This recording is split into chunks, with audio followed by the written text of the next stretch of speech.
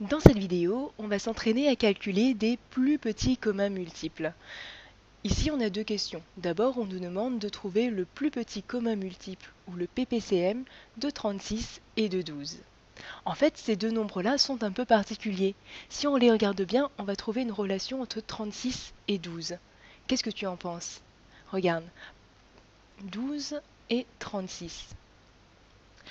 Est-ce que je peux trouver un nombre par lequel, quand je multiplie 12, je trouve 36 Eh bien oui, regarde, si je multiplie 12 par 3, je vais trouver 36. Donc 12, en fait, est un facteur de 36. Ou alors on peut dire que 36 est un multiple de 12.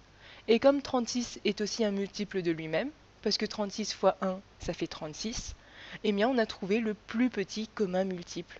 Le plus petit commun multiple de 36 et de 12, c'est 36.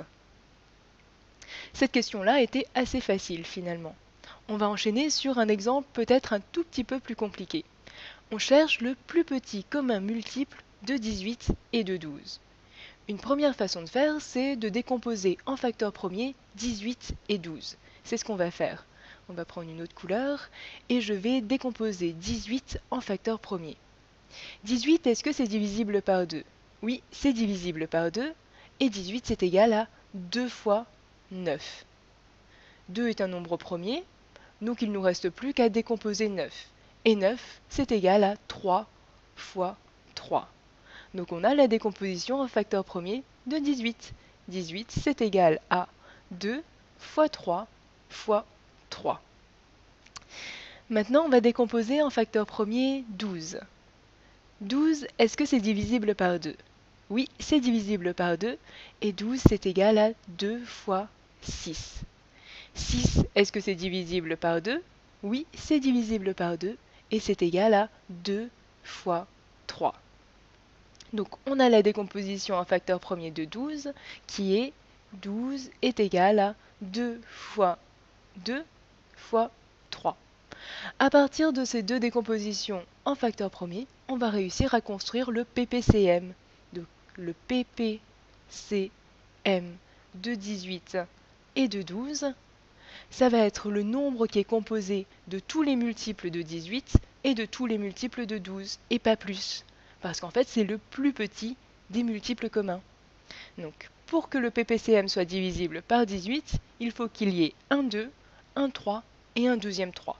Donc 2 fois 3 fois encore 3. Maintenant, pour que le PPCM soit divisible par 12, il faut qu'il y ait un 2, un deuxième 2 et un 3. Ici, j'ai un 2 et un 3. Il me faut un deuxième 2. On va l'ajouter ici.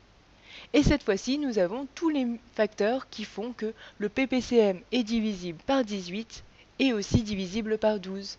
Il ne nous reste plus qu'à calculer cette multiplication-là. Alors 2 fois 3, ça fait combien? Oui, ça fait 6. 6 fois 3, ça fait combien? Ça fait 18. Fois 2, ça fait combien? C'est bien ça, ça fait 36. On trouve que le PPCM de 18 et de 12 est égal à 36. Il y a une autre façon de faire encore. C'est de dire qu'on va regarder tous les multiples de 18 et tous les multiples de 12, regarder quels sont les multiples que 12 et 18 ont en commun et choisir le plus petit.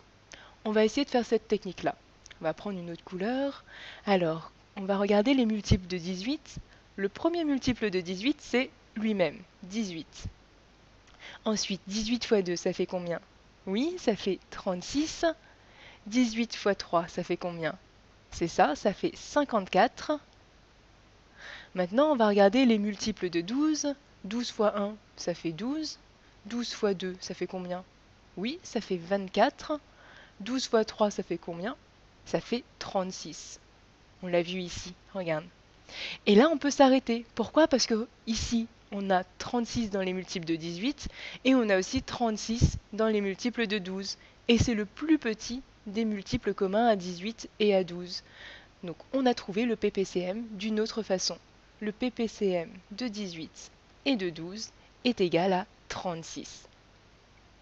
Tu pourrais me dire pourquoi s'embêter avec la décomposition en facteur premier quand c'est aussi simple de faire la liste des multiples? Bien en fait c'est surtout pour les très grands nombres que c'est très pratique d'utiliser la décomposition en facteur premier. J'imagine si on avait des très grands nombres, il faudrait peut-être faire une liste très longue des multiples de chacun des nombres avant de trouver un multiple commun. Donc c'est pour ça que cette technique-là, souvent on la préfère, parce qu'elle est systématique et qu'elle est relativement simple et rapide. À une prochaine vidéo